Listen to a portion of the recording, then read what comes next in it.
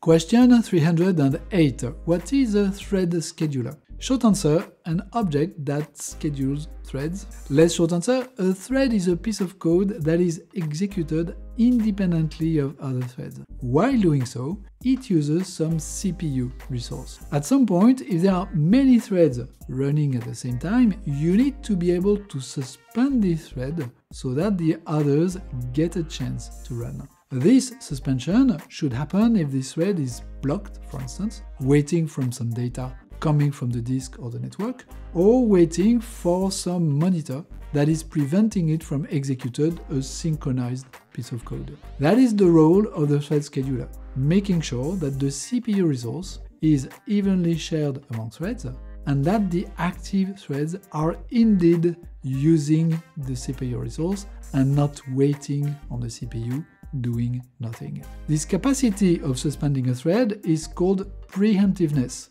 A thread scheduler can be preemptive or non-preemptive. One last word, virtual threads are using a specific virtual thread scheduler that is not preemptive. Reason why you should never conduct long-running in-memory computations in your virtual threads. If you do, you could block your entire virtual thread system.